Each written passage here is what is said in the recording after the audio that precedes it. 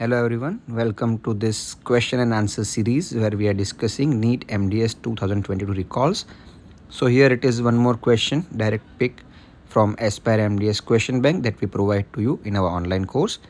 The question is with the radiograph where structures are marked with white arrows. You can see radiolucent lines going downwards from the periapical region of mandibular anterior teeth and the given options are multiple vertical fractures, periapical abscess, nutrient canals the fourth option unfortunately was not recalled.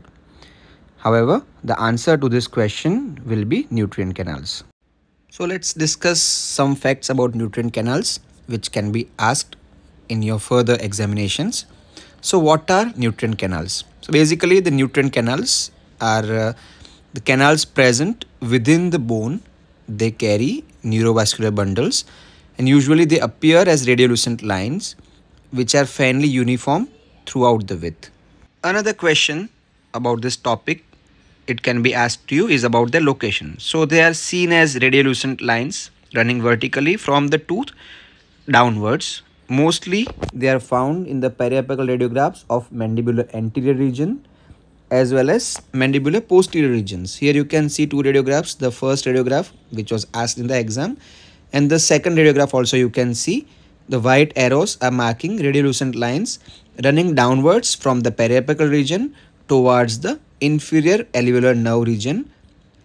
It is marked with the white arrows. Third related topic to nutrient canal which can be asked to you is about in which patients do you see the nutrient canals.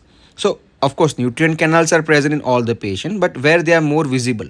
So they are visible in about 5 to 40% of the patients and they are more frequent in the black patients.